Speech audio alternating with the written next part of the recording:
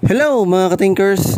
Welcome to the Thinkers Republic, the thinker, the designer, and the maker. This is Anthony Sando. Today, ay papakita ko kung paano mag-add rate sa Piso Wi-Fi. So kung hindi mo pa alam kung paano mag-add rate sa Piso Wi-Fi, then watch this video all the way until the end as I show you how.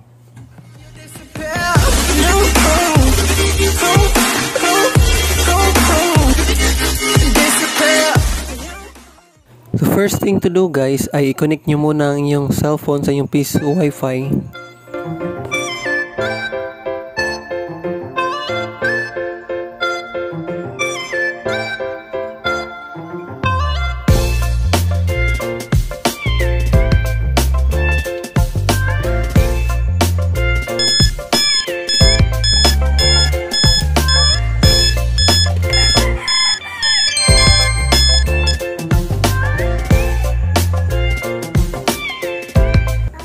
Pag nakakonect na kayo guys, so punta lang kayo sa mga search engine tapos i-type 10.0.0.1 slash admin.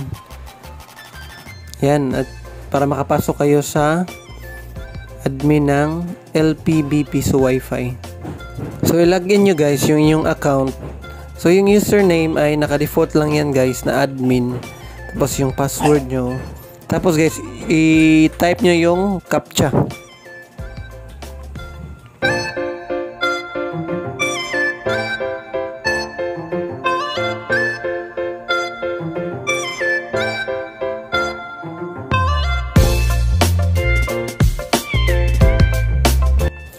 So after nyo matype yung captcha guys, press sign in.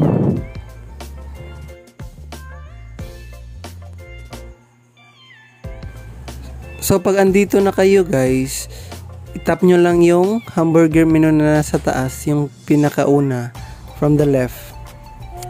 Pagkatapos guys, select timer rates. So ayan guys, makikita nyo na yung mga rates ng piso wifi na nakaset up. So mag-a-add tayo guys, halimbawa mag-add tayo. So i-click nyo lang guys yung add rates.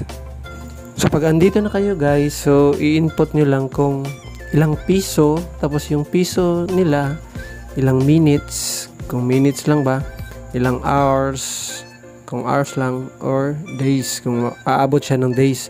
So halimbawa dito sa akin, ang ilalagay ko ay 80 days, uh, 80 pesos. Ang ilalagay ko ay 80 pesos dahil meron na akong 1 day na 50 pesos. So gagawin kong 80 pesos lang yung 2 days ko.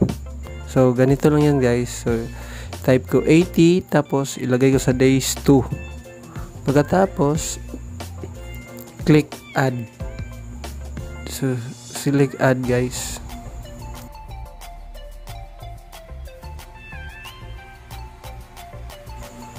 So, tingnan natin guys yung ating in-add na rate. So, ayan, nandito na siya guys. So, 80 pesos good for 2 days.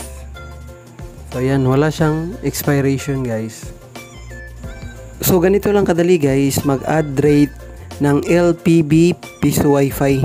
So ang gamit ko palang license guys ay LPB so yan yung gamit ko so kung may mga tanong kayo i-comment nyo lang sa baba at ibibigay ko ang aking best na masagot ang inyong mga tanong So kung may natutunan kayo sa video ito, please make sure to subscribe and hit the notification bell. But don't forget to like, share, and comment below.